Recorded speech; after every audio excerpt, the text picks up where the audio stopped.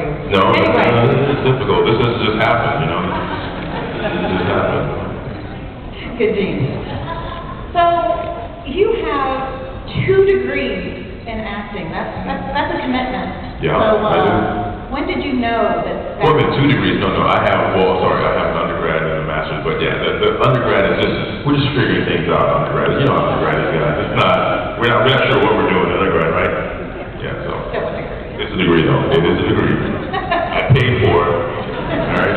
Still paying. I may be still, I may still be paying for it, I'm not sure. So, when did you know that I'm gonna make this happen, that's it? Um, I, I don't think I ever knew that until I actually started working in the business, you know. You want, I think when you're young, you have a lot of energy, you have a lot of focus, and you have a lot of determination. And then the older you get, the, the, you know, you get beaten down, you get a little more jaded, uh, life hits you in the face, uh, bills come, and you start doubting yourself. Even if you made progress, you start, you know, you take account of where you are, and you start feeling like, I don't know if this is possible sometimes. Um, I'll be honest with you, I don't think I told a lot of people this um, specifically. I think I talked about it in some articles here and there. But I think I was 32, 33, I was getting ready to just call it quits. Not because I hadn't worked or wasn't working, I just wasn't doing things I wanted to do and I wasn't working in the way I wanted to work and I wasn't getting the opportunities that I wanted to get. So I kind of was like, you know, I had held myself in a certain regard and I said, look, if I'm not going to do it this way, I think as far as where I'm concerned, I feel like I should probably look for something else to do. Um, passion or not, I was like, I'm getting older and I don't want to wait tables the rest of my life. You know, it wasn't about, you know, uh, pride or anything like that, but I just wanted to have a consistent lifestyle and, um, and working intermittently in the business sometimes becomes frustrating. So what I was doing was, you know, I was working in a restaurant I was working as an actor and I could have quit the restaurant, but I was sort of, I'm, a, I'm from a blue collar family. So I'm used to working. So I'm not, I, I know friends, I gotta tell you, there's a lot of friends, I'm sure there's people in this audience, who they were just happy to be on unemployment. That they, my, I got friends who they were, they were actors and they were just, when they weren't working, they would sign for unemployment. There's nothing wrong with that. But I just, I never did it. I just, I just couldn't do it because it was like, well, I can work. I mean, I could find a job. It wasn't necessarily the job I wanted, but it was a job. So I didn't have to sit around and wait for a check to come in. And al- you know, al- although I had already contributed to the unemployment, I should be, I should have been happy to take it because I'd already given money for years. But something about me, I was just like, no, I'm just going to go to work, even if I didn't want to. Um, and then years went by, and I was working more, and I would just keep the restaurant job as a backup because psychologically, I felt like, hey, if I need to, I'll go back. Um, which was, which is why, you know, when that Geoffrey Owens thing came out, everybody probably heard about that with the guy, they found this actor who used to be on the Cosby Show, and he was in Trader Joe's. You know, I, I love that story because it was an honest, honest day's work, and he was working to do something to put food on the table. He wasn't begging anybody for money. He wasn't asking for a handout. And for, you know, whoever the people were, it wasn't the woman who took the picture because she had no intention of actually trying to shame him. She just was wanting to, you know, take a picture of him because that's what people do sometimes, you know. And then I think Fox News took it to turn for handed somewhere else. But ultimately, that is ultimately what America is about. It's about, that's what all of us are about. And actors sometimes are separated from, from, from, from guys who are going to do the nine to five job because they think, well, you're an actor you're making so much money, you know, you live this way and we live this way, and you know, I, I get that, that that's what it seems like, but what people don't realize is most of the actors are people who started out in the same position you started out. Not a lot of actors are born into wealth, you know, we, we kind of found our way into a nice, decent living, but we worked our way up, we were sacrificing a lot, we were working three or four jobs, grinding it out, you know, some people were homeless sometimes, people, you know, they, they, they sacrifice a lot people always want to go, well, what does it take to achieve your dreams? Well, for actors and artists, a lot of times there's no money in it for so long, you're literally starving. You know, you're literally like just trying to make ends meet. And not everybody wants to do that. You know, I'm I don't want to be homeless. I didn't want to be living out of my car. So I, um, I didn't, I never had to do that. But I'm just saying that when you're an actor, you never know what you're going to have to do. So I, I always appreciate that story of Geoffrey Owens because it, it's like, hey, I, I'm, I'm working, I'm not ashamed of it, I'm going to continue to work, and I'm going to put food on the table. And if I get another acting job, great. If not, I'm going to still go work because I need to. Um, so I love that. I love that about him. I love that about you know the, our profession. We are we are artists, but we are also are laborers, and we have done that before too. So You have uh, some successful people around you. You're, you're, you've got Viola Davis, your cousin, your brother, it's pretty cool, he's a Secret Service agent. And your wife, which is pretty cool, is a PhD, which, woo! Yeah, Cool, PhD. cool. School, school, school, more school.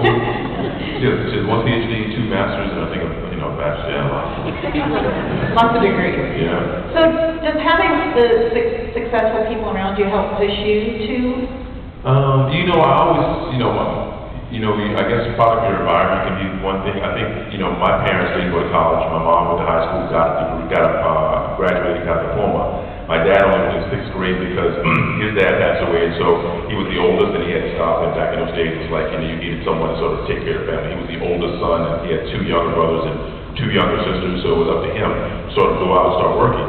So even though that was the case for them, luckily they knew that education still was the right direction for the kids because we would eventually become successful or at least have some sort of chance that we went to um, college and, they, and even though they did not. So we all went to college and got a degree of some sort and then, um, you know, it's just one of those things they instill in your education. You gotta figure a way out to sort of like have a set of skills or something you can offer, otherwise you're gonna be lost. So I think it's more of a, of of a hard work determination, even now, like my wife, her parents are from, uh, Eastern Europe or Central Europe, and, uh, same kind of mentality over there, just work, work, work, you know, like, they almost would work, it's almost like the Jamaican mentality, like, they work, they work, I mean, like, they work for nothing, and it- it's, a right thing. You know, it's not just about doing the job, it's about doing it right, it's about, uh, if you need something extra, they'll do it, they wanna make sure you're pleased, you know, a lot of people don't have that pride now, it's like, they can barely do any work, you show up to work, they got a frown on their face, they don't wanna be there, you're, you're paying them, but they don't feel like their life is, is, it's not worth it for them, so there's a certain energy that they give you. Well, with them, they're like, they're happy to be there, but they also wanna make sure you're pleased as, as, as the, um, as the person who's paying them, because they want, they have that sense of pride, and, and it's, it's almost a curse, because they'll grind it out and spend extra hours doing what most people wouldn't do, they wanna go home, they're like, no, I'm gonna finish this task, you know? And that, that's something that I think people have to sort of feel internally to make sure they're good at whatever they're doing. You know what I mean? E- Even if you're flipping a hamburger, you know, make sure the burger's cooked properly, right? Don't give anybody a raw hamburger, right? Is that what, is that, is that what I'm saying? okay, so I'm an educator, so I have to get that education. Oh, education, there you go. She, she, I walk right into that, education, look at that. So, um, you were in this show, um, some of you may have heard of it, uh, Luke Cage. Oh. Woo!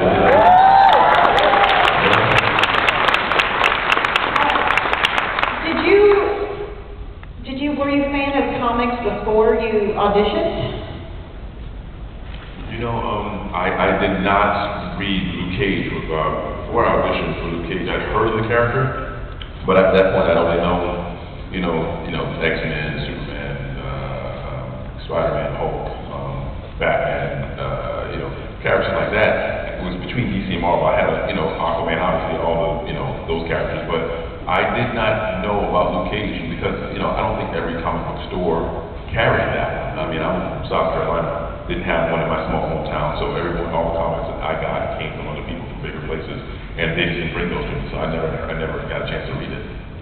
I'll talk to that, I have a comic shop too. Oh, wow. That's bad.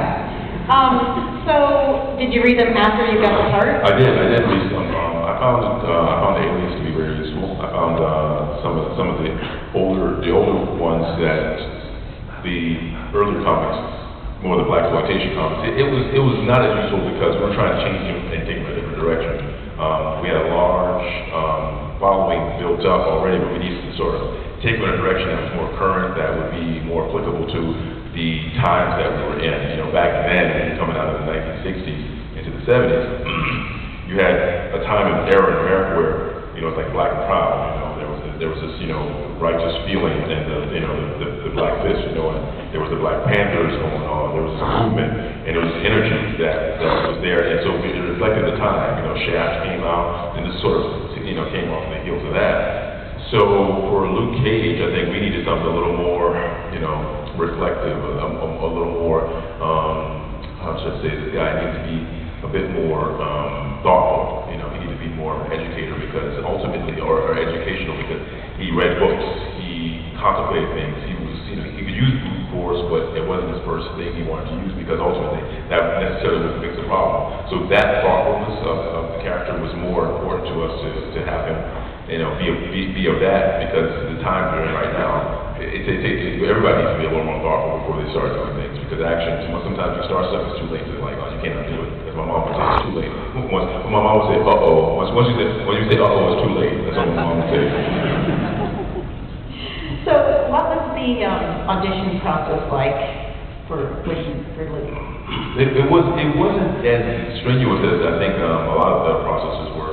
The, the, the hardest part of this audition process was that I'd already had a job luckily, and I was gainfully employed on another show, and we had started, uh, got picked up for a series pickup, and we were gonna start to film. And the minute I got the news, this opportunity sort of came along, so when, the biggest thing about Luke Cage is that, once I got this opportunity, it kind of felt like it was a foregone conclusion that I played the character. It was just more about trying to get free from this other contract to then get an opportunity to play. So it would have been easier if I didn't have a job, and so basically relying on the showrunner, William Herron, uh, Blake Herron, who was the showrunner for the show that I was on, him and, uh, and, and, um, Army, another producer, who, they, they basically helped me, you know, to get out of the contract at, at TNT. Because it was, it was a tough thing, you know, you go to your showrunner and say, listen, I really appreciate everything you've done for me, but I have another job that I would love to pursue. And, you know, that's not something people usually take well. Um, but to his credit, he was very, very supportive, and, um, I still, you know, appreciate it to this day. So you worked a lot with, with Krysten, so, and you did some uh, chemistry tests. So what was that whole process?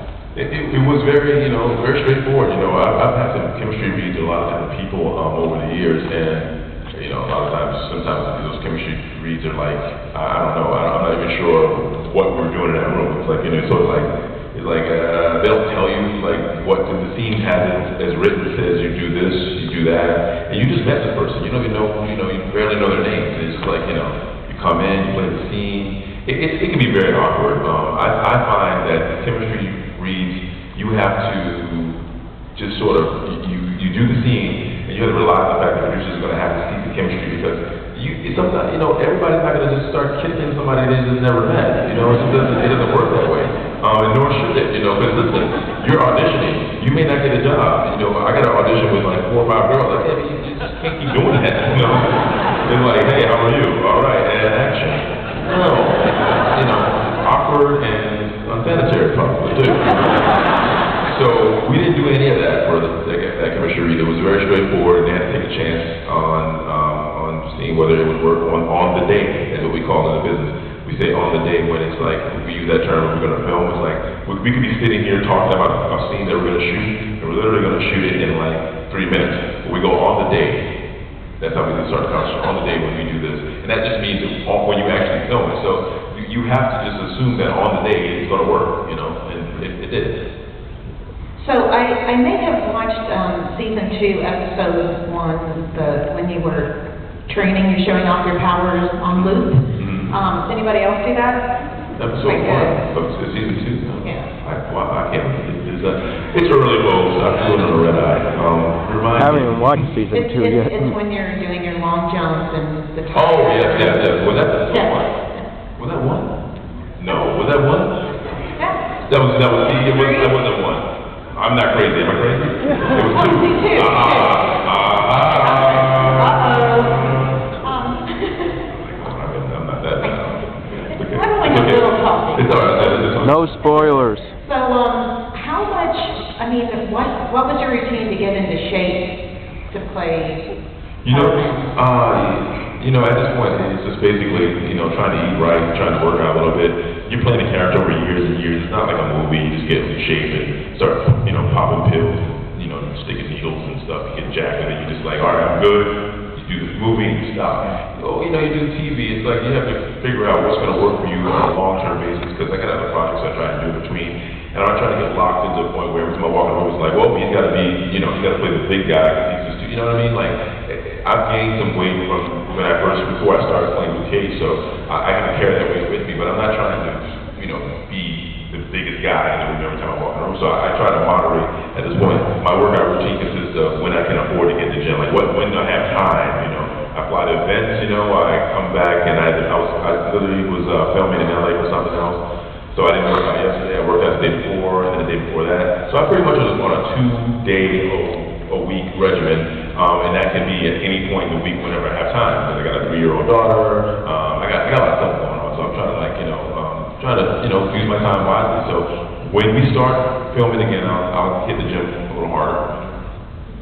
So let's kind of switch off of, of Luke Cage, because you've done so much other stuff, and you're talking about different roles, but you did motion capture in Halo for the video Yeah. game, which is one of my favorites. Mhm. So what was, what was the whole motion capture experience? Oh man, motion capture is fun. I mean, you basically would just walk around with like a leotard on, um, and there's like dots on your face and whole body, and they put the cameras all over your head and stuff. And you pretty much do the same thing over and over all day long, and wait for them to say stop, and then you do it again. And it, it, it's it's one of the, I can tell you, it's one of the cushier jobs you can get in this business because there's a lot of things you can do. I mean, listen, if you're working indoors in a climate controlled environment, that in itself is, is, is heaven. Because a lot of times, you know, we film, nobody knows how cold it is, you know, when we're filming or how late it is. Almost nothing good happens after three o'clock, three in the morning, and we're filming like three to six sometimes in the morning, waiting for the sun to come up. I mean, we're, we're filming, um, I think episode one where uh, Lucy Liu was directed at, there was this explosion, a truck explosion. That, you know, we started filming that whole thing around midnight, that whole scene. They blew the truck up around midnight. And so by the time we got to sunrise, we were racing, uh, the sun was coming up, we're trying to get the scene. It, it's just so much that goes on where it takes so much time. People don't realize how much time it takes to shoot something. You go, if you stand on set, you go, what is going on? Like, this is insane. Like, it was, like, nothing, it seemed like nothing happening for hours. And then all of a sudden, everyone's in a hurry. Um, it's a very strange situation. So anytime I'm shooting indoors, it's a very good day for me. So, do you prefer doing more TV roles, like Bishop when you played that, or? Good wife, yeah. Like Big Willie Little? Yeah, you know, um, no, no, you know, Good Wife was a great experience. I, I love doing, uh, television. I like doing good projects. I would say to myself, like, I wanna do a couple, I wanna do a few things. I think one thing is I wanna have, a- have, be in a film that's in every festival. And at one point, I want to, I wanna see all the festivals. And I also wanna be, I wanna diversify. I always wanna be in different genres and different, different, um, uh, to just be exposed to different audiences. So like my hiatus, I had a year off now.